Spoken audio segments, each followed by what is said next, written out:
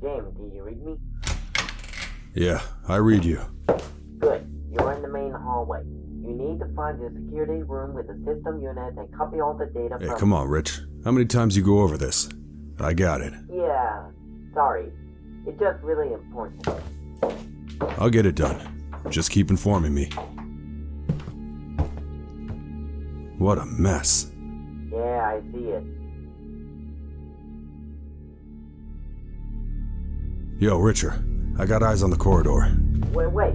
I think I saw something on your right, like an old animatronic. Go check it out.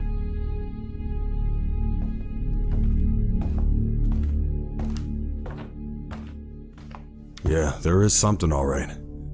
It's way out of breach, though. There's a big fence blocking my way. No way I can get through. Get, get to that corridor through the security room. Come on, keep moving. Roger.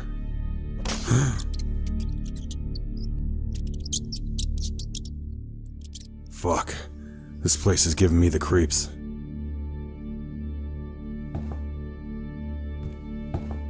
So, the data files.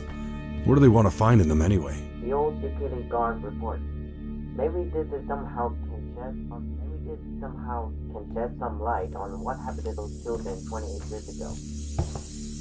Richard, one of the pipes is leaking gas. I thought this place was abandoned two decades. What's up with this? I don't know. I got a bad feeling this might be a setup. Like someone really didn't want anyone to get here before the building gets demolished. Thanks. What a relief. Okay, I'm in a security room. I got eyes on a computer. Richard, there's a message on the monitor. What am I supposed to do with this? Richard. Richard?